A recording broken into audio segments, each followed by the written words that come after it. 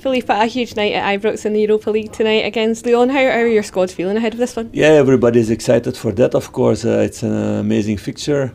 If you see all the names uh, that they have starting 11 but also on the bench, uh, yeah, they have a really experienced squad with a lot of young, talented players also that they bought for a lot of money uh, the last two years. So, yeah, Lyon is uh, is a really big challenge and, uh, and our biggest challenge until now this season, I think. What do your squad need to do to, to rise to that challenge? Um, to show quality on the ball, to, to be brave on the ball. Um, what they did in Malmö, but uh, even better we need today. And, uh, and to dig in, in in the duels, to be strong in the duels, to be compact, to, to be aggressive in that way also.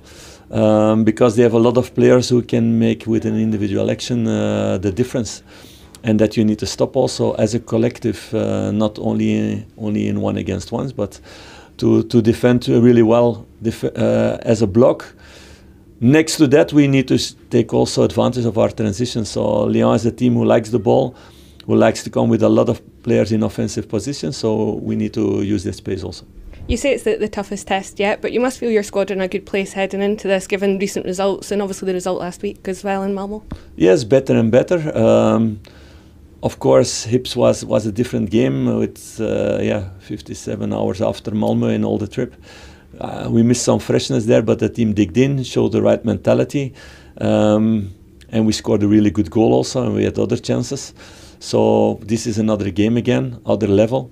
You will not get 20 chances today, so you need to be lethal in those moments. Just a word on your team news tonight. Three changes tonight. Dio's back from injury. Jefte's in from his suspension, obviously, in Europe. What can they bring tonight, and what are you looking to see from them? Yeah, Jeff is making really good pro uh, progression. So we wanted him already in, in January because we, we believed hard in his talent.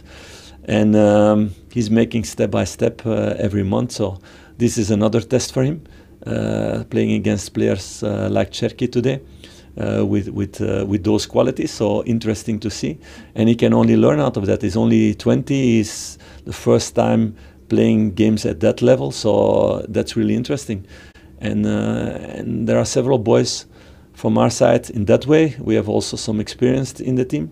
So I think there's a good balance.